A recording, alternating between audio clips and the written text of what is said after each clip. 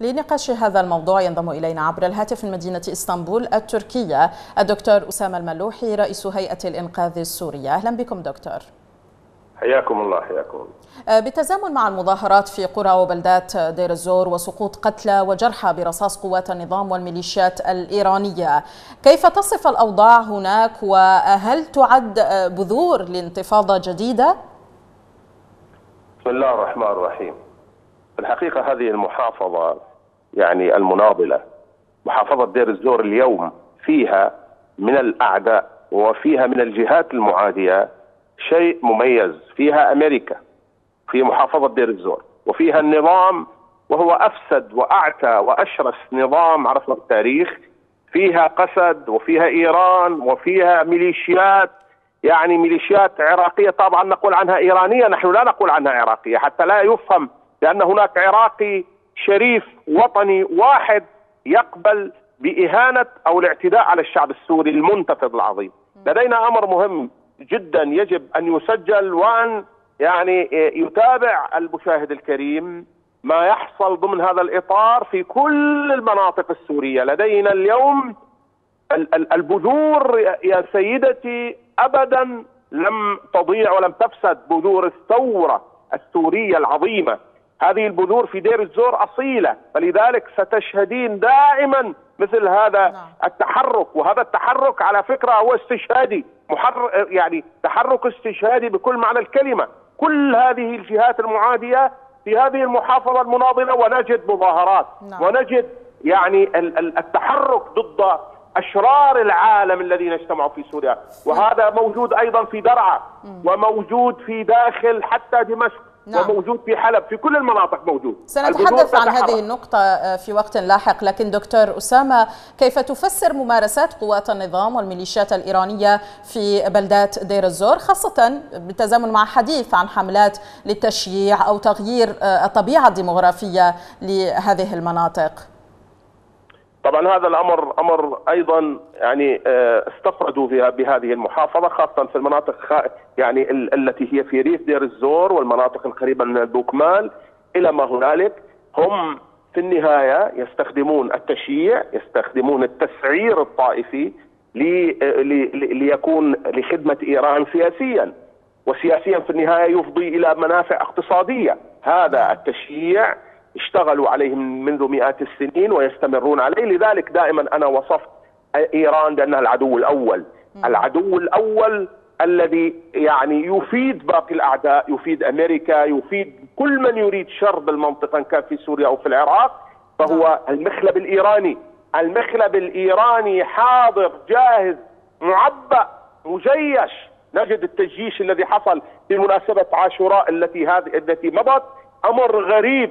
وعجيب وهم يعني من خلاله يريدون وأمريكا تريد أن يكون هناك كيان معادي لما حوله، كيان حاقد على ما حوله، هذا هو الكيان الإيراني الذي يتمدد وأهل السنة يتفرجون طبعا بالمجمل، ولكننا قلنا وما زلنا نقول أن الثورة السورية المباركة هي رأس الحرب ضد هذا العمل الحاقد وهذا انتشار الحاقد وهذا الاستعمار نعم. الذي يهدد الوجود العربي السني.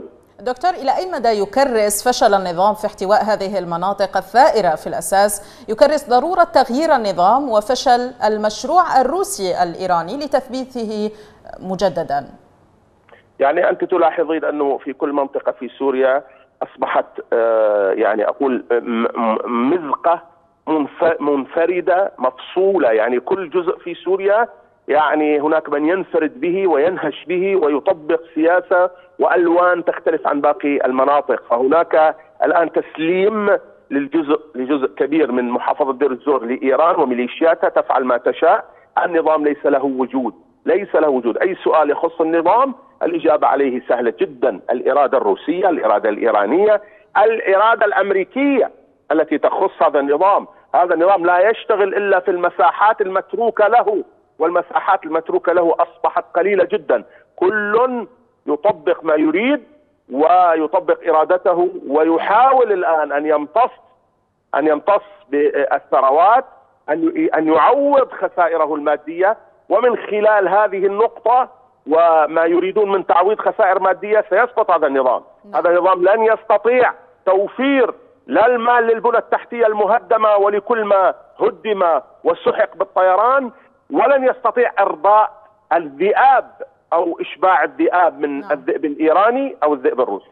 آه، هذه الانتفاضة ليست الوحيدة في وجه الميليشيات الإيرانية وقوات النظام في المنطقة الشرقية فحسب بل هناك مظاهرات أخرى في بلدات دير الزور والحسكة ضد الميليشيات التابعة لحزب العمال الكردستاني آه، وقوات الحماية الكردية أيضا. إلى أي مدى يؤكد آه، هذا هذا التحرك أصالة مشروع الثورة السورية والحاجة الفعلية لبناء مشروع وطني جامع يرفض المشاريع الانفصالية في سوريا. أحسنت القول بكلمة مشروع جامع. م. تلاحظين الآن أن هناك الفئة الوحيدة المتجانسة هي فئة الثوار السوريين الذين ما زالوا يرفعون أصواتهم. هم الذين يعني يطرحون حتى لو بشكل غير يعني قوي إعلاميا لكن يطرحون شيء متجانس أن سوريا موحدة. سوريا ليس لها يعني أمام الطامعين بتقسيمها ليس لهم أمل وليس لها توجه بهذا الاتجاه هم يحاربون الانفصاليين ويحاربون الطائفيين ويحاربون الفاسدين ويحاربون أعتى نظام في التاريخ. إلى ما هناك تجدين أن هذا الأمر غريب لعدم وجود أصلا من يدعم هذه الثورة المباركة. وتجدين أنهم يتصدون لكل ألوان الشر في سوريا. وانظري في في محافظة دير الزور إلى التعايش التعايش بين الأشرار. لاحظي التعايش بين الأشرار. التعايش الأمريكي الإيراني يعني بينهم أمتار. بين بين مناطق تكون يعني في في في بعض الأحيان عبارة عن كيلومترين ما بين قوات أمريكية أو قوات قسد المسنوده من الأمريكان وهناك قوات إيرانية على مدى كيلو أو كيلومترين. هناك يتعايشون الأشرار يتعايشون أشكرك جزيل الشكر المعذره لضيق الوقت رئيس هيئة الإنقاذ السورية دكتور أسامة الملوحي. كنت معنا عبر الهاتف من مدينة إسطنبول التركية.